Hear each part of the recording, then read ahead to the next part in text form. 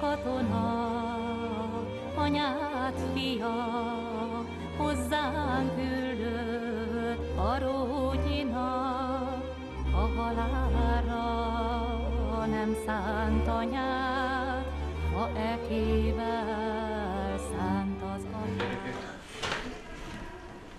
Mint minden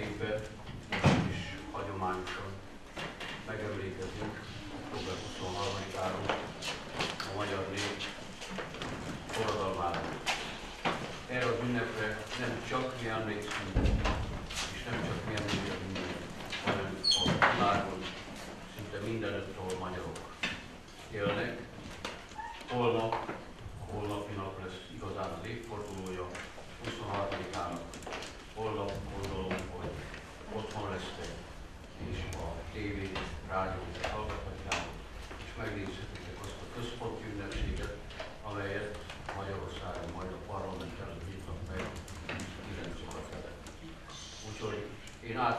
is adnám a szót a színpadon szereplő gyerekeknek,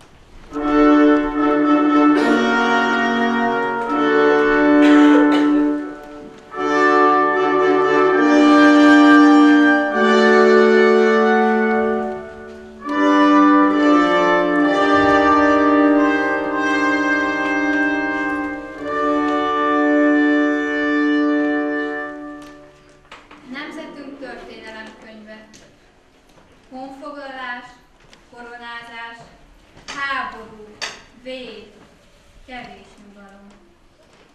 20. század. Még több harc, még több vér, még több szenvedés. Soha se lesz másként. Kell, hogy más legyen a világ. Nélkülözés,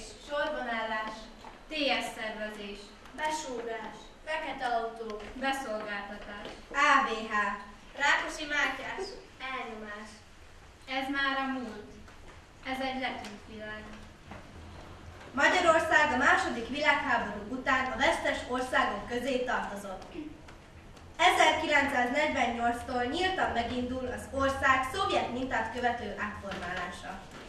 Teljes gazdasági összeomlás. Mindenki elégedetlen a hatalommal. Ki szót emel, az bújható. Mi volt ez, hanem zsarnosság és elnyomás? A haláltól fölött kerengünk. Szép, bátor, büszke madarak.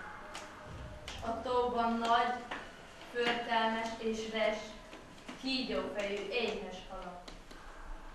Ezt a bűzlemű bústalat így is nevezik. Magyarország. Hiába minden, mind lehulló. Húz a haláltól,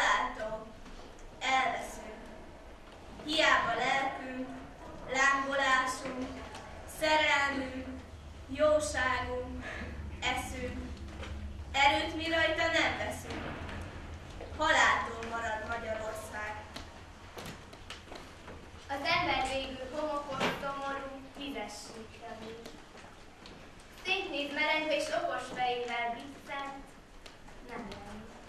Én is így próbálok csalás nélkül. A semmi ágán szívem, kis teste hangtalanazó. Köré együlnek szeliden, s nézik, nézik a csillagot. Az elhagyatottság 30. szélességi, a szégyen századik hosszúsági, és a fogatszorító dac végső magassági fokán valahol messze vidéken. És kíváncsi vagyok, hogy lehet-e. Szabadság, egyenlőség, párpontoltak ábrányra csak, bunkós a sorsökör.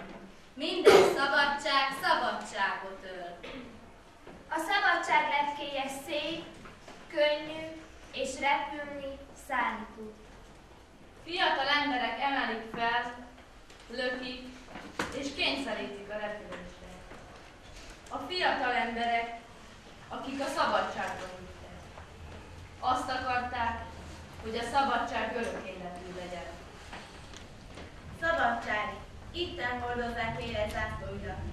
Ó, szabadság, tesszünk nekem rendet! Szabadság, szerelem, e kettő kell nekem. Jól van, a szabadság értem küzdjetek.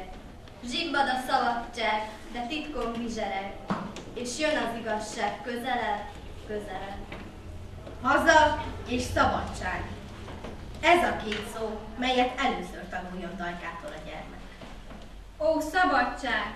Hadd nézzünk a szemedbe! Szabadnak születtünk, Mi szabadnak születtünk! szabadnak születtünk. Most percemberképp dáridója tart, de építésre készen a körös. Nagyot végezni mégis mi jövünk. Nagyot és szépen, embert és magyar. Veszélyes volt. Fogadj be úgy, azán, hogy kezedet, ha védőn fölveted, érezzem. Én is úgy mozdítanám. S dicsérjelek, mint jó reflexemet. Fogadj be úgy, ha még jóra konok, ifjú erőmmel többet akarok. Érezzem, mozduló viácsitagok. Anyag, de véled lélek is vagyok. Nézd ezt a várost, ez volt ifjúságod. Hallod a Dunapergő könnyeit? Ez a kék köd, az alföldi lapályok, korábban szenderegnek ősei. Szobádban ülsz. Az ablak tárva. Látod alant a várost és fönt az eget. Íme, költő, ez itt a te világod, országod, álmod, várod, életed. Négy szűk határ közt egy maroknyi szántó. A tarackos is, a földje legalább jó. S fejed fölött, ha szűk lett idelen, vigaszolul a tárgas végtelen. Iparkodjunk, a század viselős, születni fognak nagyszerű napok, élethalálnak vészes napjai. Fogjunk kezet, hogy rettengnünk ne kelljen az eljövendő óriásokat. Tartsuk meg a szép, a szent kézfogást. Tartsuk meg azt, ó édes nemzetem. Jöjj hát tavasz, sárjadjatok vetése, vívúj tündérkert, kicsi Magyarország. Koldusnak is jó földeden az élet, ha szebbé válik tőle a te ország. Költő, dalolj hát, énekelt hazádat, mutasd föl szívét a magas világnak. Sporod fölött csak ezt véssék a fába. Megtette dolgát, és nem lett hiába.